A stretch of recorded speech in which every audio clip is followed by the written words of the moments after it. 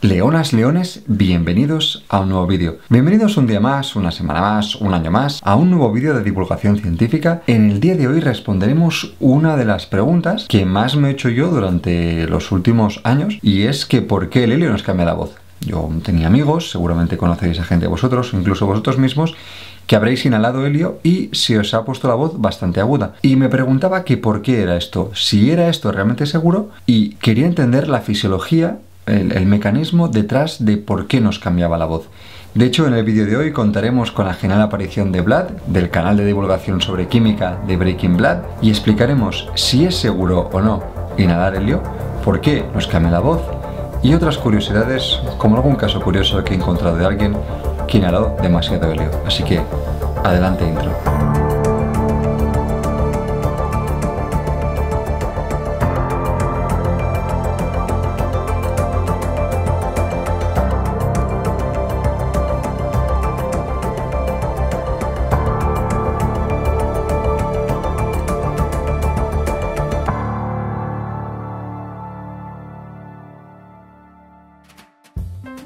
Como sabréis, eh, seguramente lo habéis visto en algún, algún vídeo, lo que se hace para inhalar helio es, eh, bueno, normalmente se compra un globo con helio o se, eh, digamos, coge una bombona donde haya helio y entonces lo que haces es, a ver si me sale bien y no me explota en la cara porque si no daría para muchos memes y muchos gifs divertidos. Así que lo que se hace es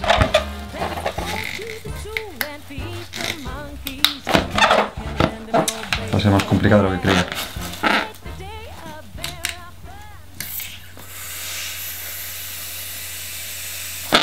Se absorbe helio y entonces la voz se pone más más aguda. Esto no es un efecto de voz, como veis, sigo hablando, sigo hablando, sigo hablando, sigo hablando, sigo hablando y yo creo que prácticamente ya he recuperado mi voz normal. Vamos a dividir el vídeo en varias partes y ahora entenderemos por qué pasa esto. Este vídeo, como veréis comparado con el anterior, que lo podéis ver aquí, el anterior vídeo de divulgación científica que hice, va a ser algo más básico, porque realmente divulgar la ciencia o explicar la ciencia, para explicar eso no tenemos por qué hablar de la persona que se curó de la infección por VIH o se curó del SIDA, sino realmente lo que puedo hacer es ver las cosas a mi alrededor, preguntarme por qué pasan y después, eh, cuando una vez que los entiendo, traeroslo a vosotros. Es un poco la idea que quiero hacer. También porque muchas, muchos de vosotros me dejasteis o bien por mensaje privado o por comentarios en el vídeo que quizá el último vídeo que hice era demasiado lioso y demasiado técnico. Así que vamos a ir mezclando los dos tipos de dificultad y a ver qué os parece. Yo creo que antes de empezar a hablar de por qué nos pasa esto, como por qué nos cambia la voz y todas esas cosas, creo que es muy importante que entendamos bien qué es el helio, qué clase de elemento es el helio y, conocer un poco las cualidades químicas. Así que vamos a traer ahora mismo a Vlad del canal Breaking Blood, que si no lo conocéis os lo recomiendo muchísimo y si os gusta la química es genial, hace unos vídeos súper interesantes. Así que os dejo con Vlad y ahora mismo vuelvo yo.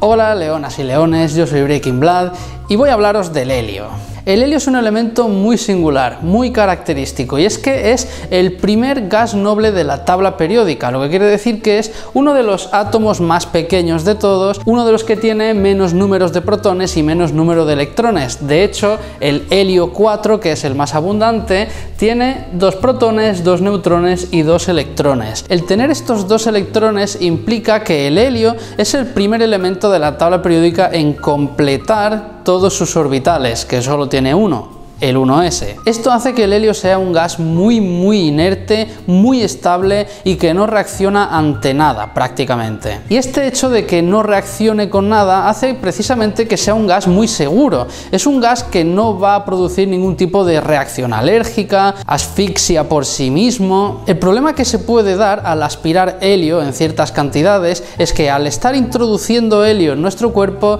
estamos desplazando el oxígeno que había previamente. Todos sabemos que nuestro cuerpo necesita oxígeno para poder respirar. Así que como veis, el helio es totalmente seguro, no arde, no reacciona con nada, no oxida, no produce ningún tipo de reacciones, pero si bien por sí mismo no hace ningún tipo de reacción, sí puede producir algún tipo de consecuencias por el desplazamiento del oxígeno que tenemos dentro. Y esto creo que es todo, tampoco vamos a enrollarnos mucho más, ¿no? Que este es el vídeo de Pau, vamos a dejar que hable él también. Gracias Vlad por explicárnoslo todo tan bien y por dejarlo tan clarito. Una vez que tenemos ya claro qué es el helio, eh, por qué es un gas noble y por qué, digamos, no reacciona con, con otros gases, de hecho si tenéis más cuestiones sobre el helio o si queréis seguir sabiendo más cosas sobre el helio, os voy a dejar un enlace aquí para que veáis el vídeo de Vlad que es brutal, o sea que es chulísimo, vamos a dividir el vídeo en varias partes. La primera parte va a ser entender cómo se produce la voz en el cuerpo humano. La voz humana, tanto así como así,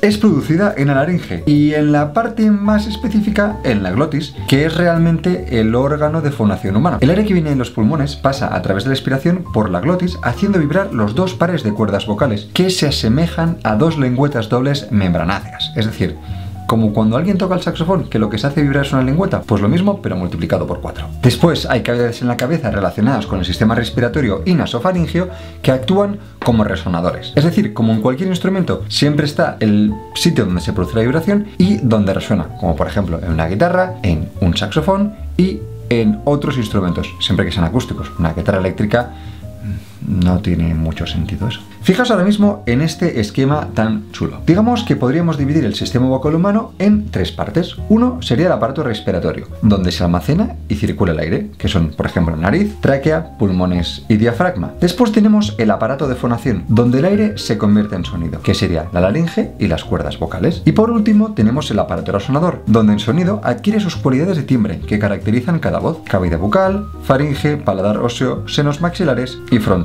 Por eso, muchas veces, aunque no siempre es así, las personas que suelen ser más pequeñitas y tienen la cabeza más pequeña suelen tener una voz más aguda y las personas que somos un poco más grandes y tenemos este cabezón tenemos la voz más grave. Pasemos ahora a solucionar realmente la pregunta de, este vídeo, la pregunta importante que es ¿por qué el helio cambia la voz?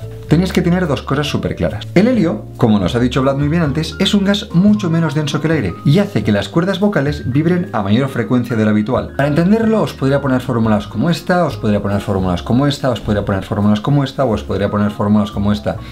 Pero creo que mejor os voy a dar la explicación más pachorra, la explicación más, digamos, científica pero fácil de entender que he encontrado y que he deducido también yo, leyendo los artículos y demás.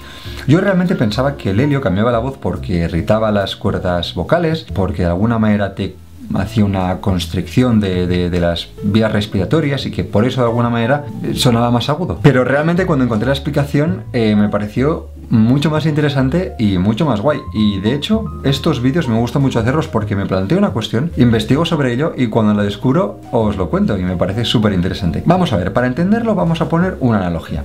¿Sabéis, por ejemplo, cuando tenemos una, una mano debajo o un brazo debajo del agua que nos cuesta moverlo bastante? ¿Por qué? Porque el agua es más densa que el aire.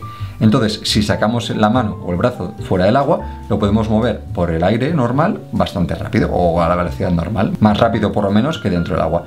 Pues más o menos es la misma idea que pasa aquí dentro, ¿vale? Es decir, nosotros cuando absorbemos el helio, el helio se queda aquí durante unos 2, 3, 4, 5 segundos, lo que permite que nuestras cuerdas vocales vibren a una velocidad mucho mayor. Y como vibra mucho más rápido, tenemos una voz mucho más aguda. Y diréis, bueno, pues vale, gracias, interesante, te has marcado aquí un super vídeo para explicarnos solo esto. No, vamos a seguir hablando un poquito más, porque hemos hablado de un, digamos, un gas que hace que se nos acelere eh, la voz, que nos acelere las vibraciones, las cuerdas vocales y que digamos tengamos esa voz tan aguda. Pero, ¿y si hubiera un gas que realmente hiciera lo contrario? Ahora veremos, por ejemplo, qué es lo que pasa cuando inhalamos un gas que es mucho, mucho, mucho más denso. De hecho, voy a poner este vídeo de Itami, os voy a poner aquí abajo el tweet para que lo veáis porque es súper divertido, evidentemente con su permiso. Así que, adelante vídeo. Lo que vais a ver a continuación no es ningún efecto de sonido. Buenas tardes, soy el demonio del interior de Aitami.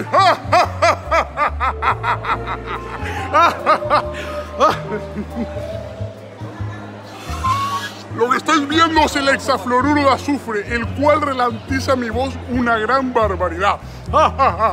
Como veis después de este vídeo súper divertido, es realmente la misma explicación. Es un aire mucho más denso lo que hace que se ralentice mucho más la voz, las cuerdas vocales vibren mucho más lento y de esta manera se nos haga la voz mucho más grave. Y de hecho, hablaremos ahora de la seguridad o no seguridad de inhalar helio. Evidentemente, como todo en esta vida, si te pasas, no es bueno. El helio en definitiva lo que hace es desplazar nuestro oxígeno, por lo tanto nos podemos quedar sin aire, podemos tener sensación de ahogamiento y es que en definitiva el helio no lo podemos respirar, o sea, lo puedes respirar pero es que no te aporta nada, no tienes oxígeno, que es lo que necesitan tus células para poder seguir funcionando y tus músculos y tu cerebro y todo tu cuerpo necesita oxígeno. Entonces, si hacéis esto, hacedlo con precaución, hacedlo quizá uno o dos veces y siempre, si sois menos de edad, con la supervisión de un adulto. Yo os digo que aunque sea médico no me voy a hacer responsable de lo que hagáis. Quiero decir, no, no puedo ser responsable de todo lo que hagáis más allá después de ver este vídeo.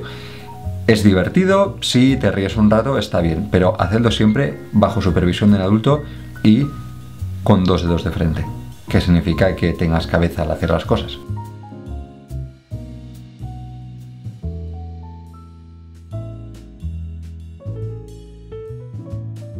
Y bueno, ya hasta aquí el vídeo de esta semana. Espero que os haya parecido interesante. Muchísimas gracias a Vlad.